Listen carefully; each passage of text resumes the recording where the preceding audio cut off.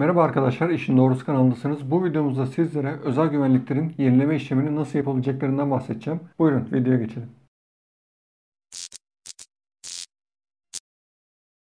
Arkadaşlar şu anda özel güvenlikler sertifikalarını 5 yılda bir yeniliyorlar. Bizim de 2016 yılından bir güvenlik sertifikamız vardı ve bu 2021 yılı için biz de bunu yenileme için bir güvenlik kursumuza gittik. Güvenlik kursumuz bize biraz eğitim alacağımızı, ardından da atış antrenmanı yapacağımızı, daha sonra atış sınavına gideceğimizi söyledi. Biz de kurs içerisinde eğitim aldıktan sonra yaklaşık bir 2 hafta geçti ve bizi Balıkesir merkezde bulunan bir atış poligonuna götürdüler. Atış poligonunda bize 20'şer atış yaptırdılar ve bu sadece antrenmanda. Bunda bir puanlama olmadı. Sadece katılımımız önemliydi. Bu antrenmandan biz yine bir 2 hafta sonra bu sefer sınav amaçlı Balıkesir'e gittik ve orada 5 atış üzerinden bir atış sınavı oldu. Bu 5 atıştan 4 tanesini vurduk ve daha sonra güvenlik sertifikamız yenilendi. Güvenlik sertifikamız yenilendi de e, bizim kartımız yok. Bu sefer de kart yenileme işlemi için güvenlik kursundan bize biraz sinir bozucu olan evrakları toparlayıp yine Balıkesir İl Emniyet Müdürlüğü'ne gitmemizi istediler. Güvenlik kursundan şöyle biz 3 sayfa evrak aldık. Bir tanesi bizim özel güvenlik eğitim sertifikamız arkadaşlar. Bunda bizim kimlik numaramız, belge numarası, belge sahibinin adı, eğitim kurumunun adı, eğitim türü, sınav tarihi, geçerlilik süresi, sertifika türü yazıyor.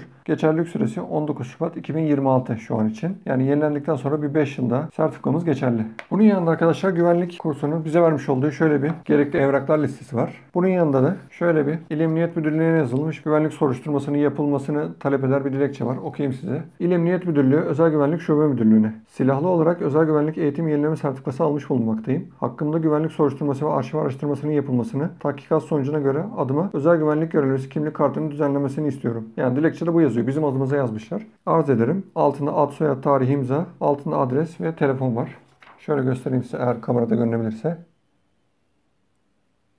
Görünmüyorsa keser atarım. Görünüyorsa zaten yayınlamışımdır. Evet yanında verdikleri evrakta da arkadaşlar şöyle yazıyor. Yenileme eğitim personeli güvenlik soruşturması için istenen evraklar. Burada toplam 13 tane evrak var arkadaşlar. Birincisi gerçi bu evrak değil de mavi renkli plastik dosya istemişler. Açıklamaya da dosya içerisine aşağıda yazılı evraklar sırayla konulacaktır. Yani en üstte dilekçe sonra diploma fotokopisi gibi. İkinci olarak dilekçe yazıyor arkadaşlar. Yani bu az önce size gösterdiğim ya da gösteremediğim dilekçe. Burada ikametinizin bağlı olduğu kolluk kuvvetine göre jandarma veya polis bize geleceksiniz yazıp vereceğiz demişler. Üçte diplomanın fotokopisini istemişler istemişler. Bir adet diploma fotokopisi. Evrakları teslim etmeyi il merkezine bağlı olduğunuz kolluk kuvvetine göre gittiğinizde diploma ya da yanınızda bulundurmasınız. Görevli personel fotokopisini aslıyla karşı... Ya bu arada cümleler arası hiçbir noklama işareti konulmadığı için ben de yani değişik okuyorum. Hiçbir noklama işareti konulmamış yani. Diploma aslında yanınızda bulundurmalısınız. Görevli personel fotokopisini aslıyla karşılaştırmak için talep edip size geri verecektir. Eğitiminize devam ediyorsanız devam ettiğinize dair ıslak imzalı belge sunmalısınız. Dördüncüde arkadaşlar nüfus cüzdan fotokopisi yazıyor. Bir adet. Üzerinde TC no yazılı olacak demişler. 5'te adli sicil ve arşiv kaydı. Bir adet E-Devlet'ten alınabilir yazmışlar. Parantez içinde şunu belirtmişler. Suç kaydı çıkarsa suça ait mahkeme kararı ek olarak sunulacaktır.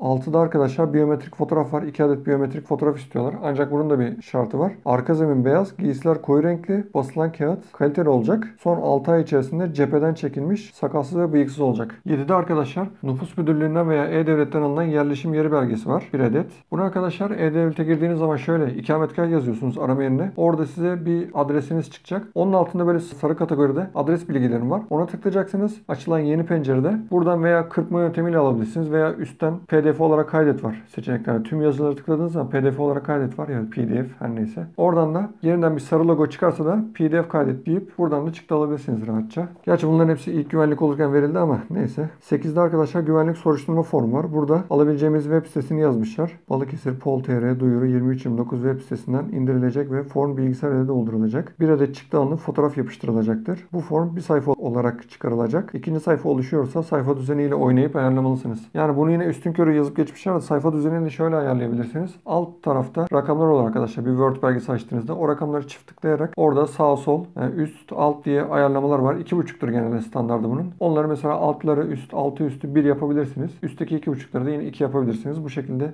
düzgün oluyor. Ben kullanıyorum sürekli. 9'da arkadaşlar kan grubunu gösteri belge var. Bunun için şey demişler. Ehliyet fotokopisi de geçerlidir. Yoksa hastanelerden kan grubu belgesi alabilirsiniz demişler. Onda 10 numarada özel güvenlik eğitim sertifikası var. Bunu zaten kurstan aldık. Aldık. Aslı ve fotokopisini istiyorlar yine emniyete giderken. 11'de özel güvenlik kimlik kartı ve fotokopisi var. Bu arada bunların hepsini İl Emniyet Müdürlüğü'ne götüreceksiniz. Burada 11'de bahsettiği özel güvenlik kimlik kartı mevcuttakini götüreceksiniz. Ayrıca fotokopisi de lazımmış. 12'de arkadaşlar parmak izi demişler ama bu parmak izi için şöyle bir belirtmişler. Dosyanızın teslimi sırasında bağlı bulunduğunuz emniyet veya jandarma tarafından alınacak diye geçilmiş. 13'te de en son kimlik ücreti var. Şu an 2021 yılı Nisan ayı için 45 TL arkadaşlar. Bu parayı Türk Polis Teşkilatı Güçlendirme Vakfı'nın IBAN'ına yatırın demişler. Ancak değişkenlik gösterebileceği için ben şu an IBAN'ı söylemiyorum. Siz yine kursunuzda görüşüp halledebilirsiniz. Parantez içinde şöyle bir şey demişler. Bu tuhafıma gitti. ATM ve internet ödemeleri kabul edilmeyecek. Yani hadi internetten EFT yapalım desek, havale yapalım desek olmayacak demek ki. Herhalde bu direkt bankaya yatırılıp dekont usulü öyle istiyorlar. Evet 2021 yılında güvenlik belgesi yenileme bu şekilde oluyor arkadaşlar. Bizden bu kadar da izlediğiniz için teşekkür ederiz. İyi seyirler, hoşçakalın. Videoların devamlı ve diğer videolarımızı izlemek için kanalımıza abone olmayı ve videolarımızı paylaşmayı unutmayın. İzlediğiniz için teşekkür ederiz. İyi seyirler, hoşçakalın.